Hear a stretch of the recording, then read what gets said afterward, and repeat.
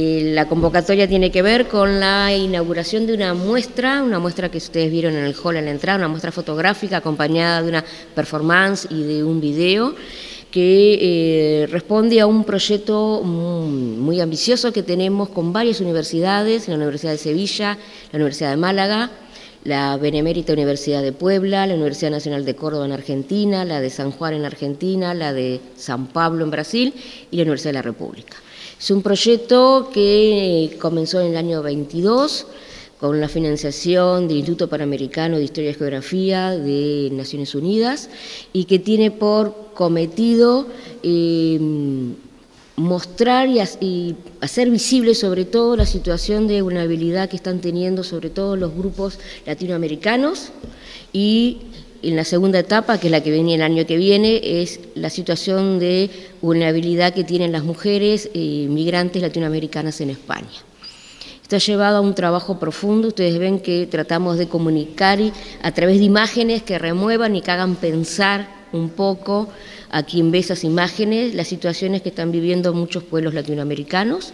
La muestra cubre varios países, eh, Galisteo es el fotógrafo, un fotógrafo español que hizo una recorrida y sacó eh, las fotos y la, la, muestra que se llama Víctimas o Victimarios apunta sobre todo a reflexiones y miradas y propuestas para la exclusión y la vulnerabilidad en Latinoamérica y en la situación de migración de latinoamericanos en España.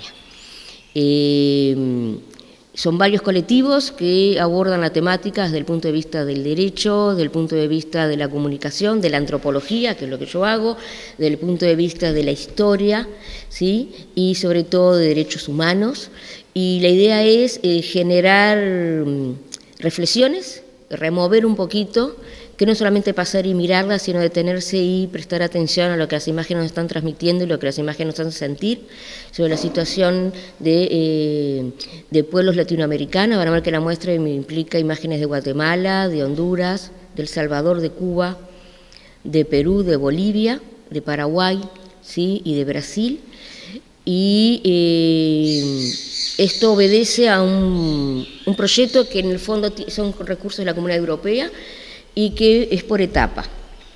Lo que estamos viendo hoy se inauguró en España el año pasado, en Huelva y en Sevilla y después en Madrid. Y hoy viene América Latina. Lo que el año que viene eh, va a llegar un documental y una muestra fotográfica que ya la hicimos en mayo y se inauguró este mes de septiembre también en España. La idea es despertar conciencia sobre la situación de, eh, de riesgo que están teniendo, sobre todo las mujeres, y la resiliencia que estas mujeres eh, desarrollan para poder adaptarse a un mundo que las recibe y no las recibe con los brazos abiertos cuando llegan a España. Por ese lado va la exposición, para despertar conciencia y hacer reflexionarlos a todos. ¿La muestra está desde ahora? Así, en Tacuarembó hasta el 3, va a estar acá en, el hall del, campus hasta el 3 de noviembre. Después eh, se va a presentar en la Casa de Cerro Largo, de la Casa de la Universidad de Cerro Largo, y después en la sede de Rivera. Y ese es el, al menos lo que, lo que está previsto este año en Uruguay.